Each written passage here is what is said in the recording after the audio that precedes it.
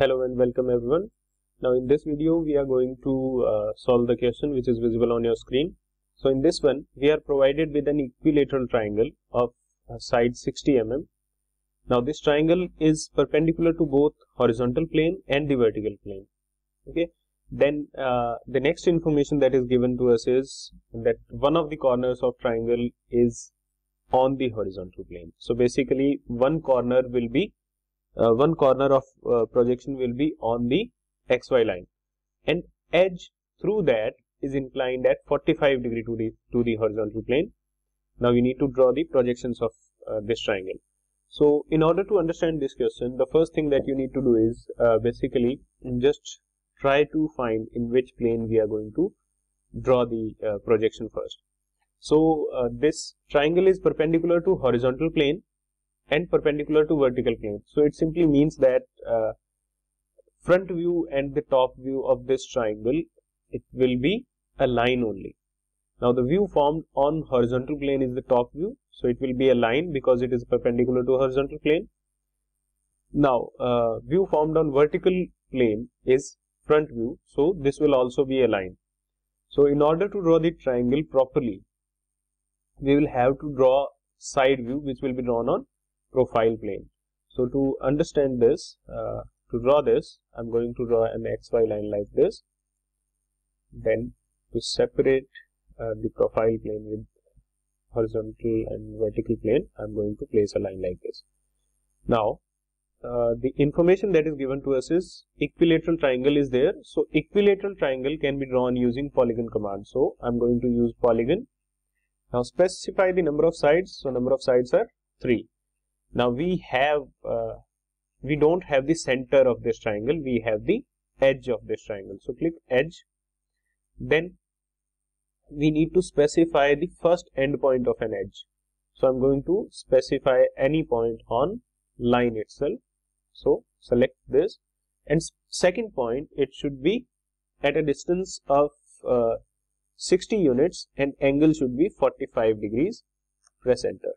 So this is how the triangle will be located. Now, uh, information is uh, basically we, we are going to move this particular triangle by some distance like this.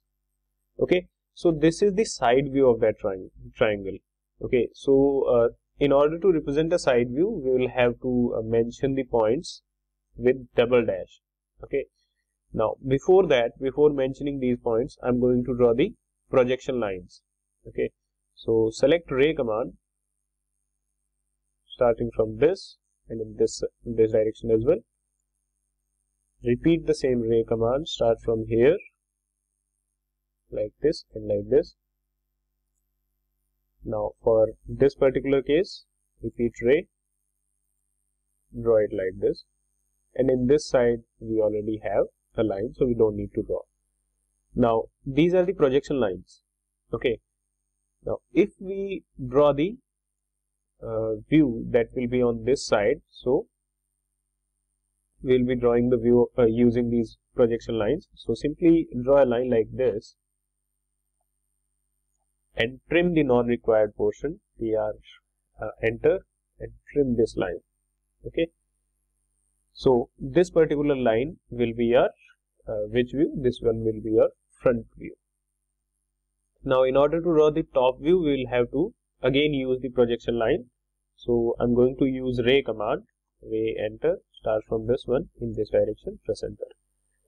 So these projection lines, they are of uh, no use to us. So first what I'm going to do is I'm going to increase the line weight of these uh, lines so that we can uh, separate our objects from the projection lines.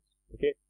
So let's trim the portion that we do not need. Now these lines, these are not needed uh, to us. So what what is the information? What is the thing that we need? So we need to bend these projection lines. So for that, I'm going to use arc command. Okay. So using start, center, and end. So we need to draw an arc starting from this one. Center should be this point and end should be on this one. But arc is being drawn in anti-clockwise direction. So, so to shift its direction, simply press control button and place it like this.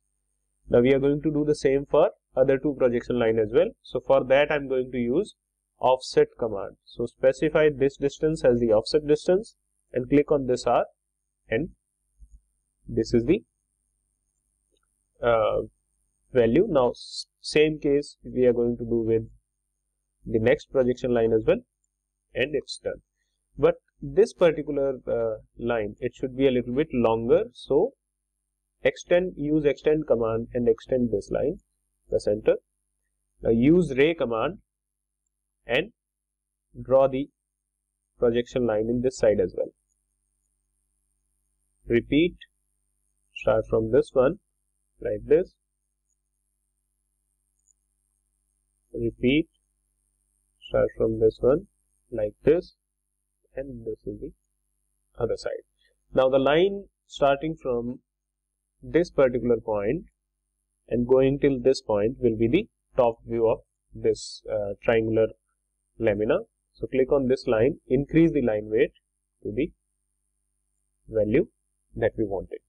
Now the next thing that we are going to do is we are going to name these uh, values, uh, name these corners or points. So before that trim the non-required portion in this side as well as in this side.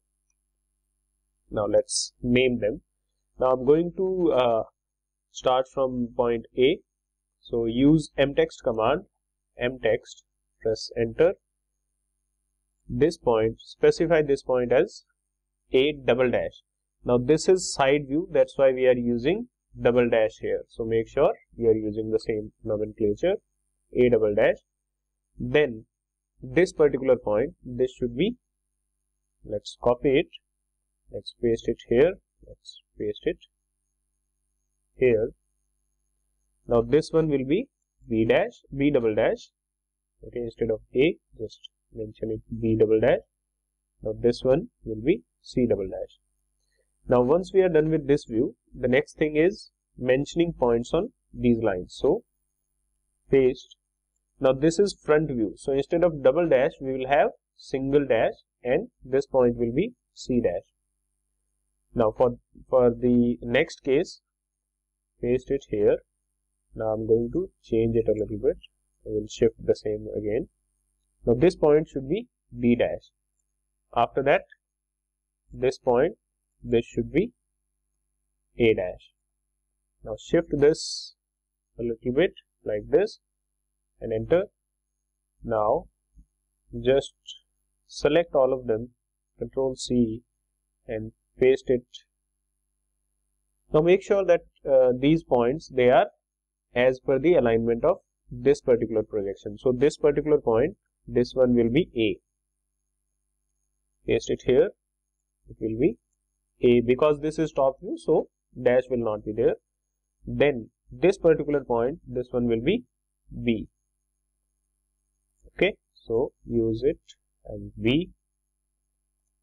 At this point this point here this one will be your point c. So this is how you are going to draw the projections. Okay? Projections are done. Now we are going to uh, give it a little bit aesthetic appearance. So right click select similar. Select similar. But we don't want to select the lines that are the part of main drawing. So, just select the lines that are only projection lines. So, I hope all the projection lines are selected and change their color. Instead of ByLayer, use a different color like this one.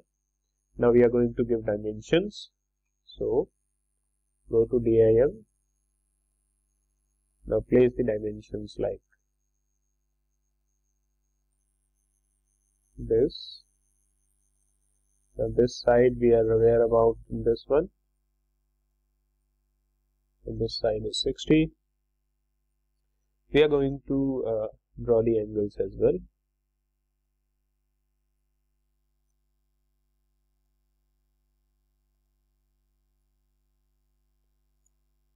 Now, in order to show the angular dimension select this line and this line and this angle will be 45 degree. Now I'm going to select all of these dimensions and change their color. Right click select similar. Now all of the dimensions are selected.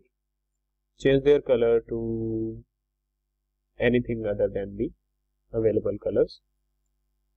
And this is your complete question. So I hope all of you have understood the drawing and uh, in case of any doubt feel free to comment in the chat box or comment box. That's all for this video. Thank you very much and have a nice day.